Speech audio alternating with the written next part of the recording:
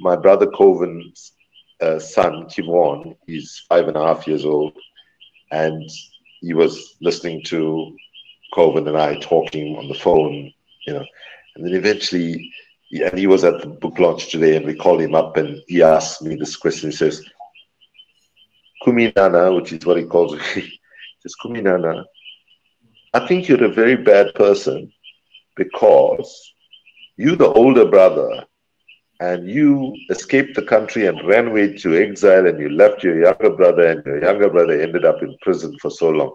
I think that's very bad. How do you explain yourself?